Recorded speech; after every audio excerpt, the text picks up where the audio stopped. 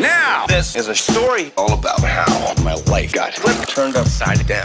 I'd like to take a minute, just sit right there. I tell you how I became the prince of a town called Bel Air. What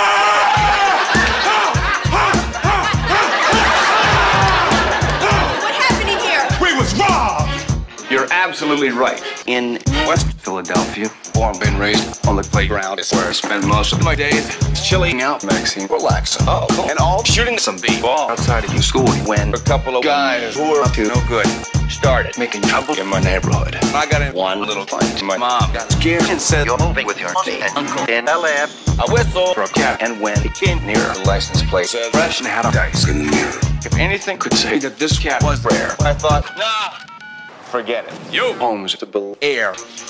I pulled up to a house about seven or eight, and I yelled to the cabbie, "You Holmes, smell you later." Looked at my kingdom. I was finally there to sit on my throne as the prince of Bel.